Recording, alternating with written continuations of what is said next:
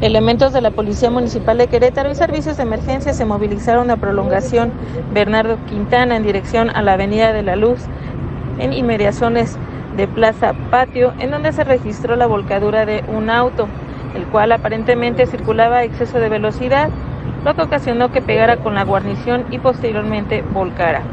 Una vez que arribaron los servicios de emergencias, valoraron al conductor. Por fortuna sus lesiones no fueron graves y no requirió traslado a un hospital. Elementos de la policía municipal abanderaron la zona y esperaron el arribo de una grúa para poder retirar el vehículo accidentado.